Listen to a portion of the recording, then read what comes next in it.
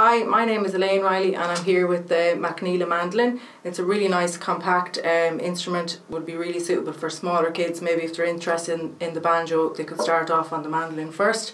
Um, it's got really nice low action and stays in tune really well. So I'll just let you hear a tune on it now. Um, I play a jig called Sixpenny Money.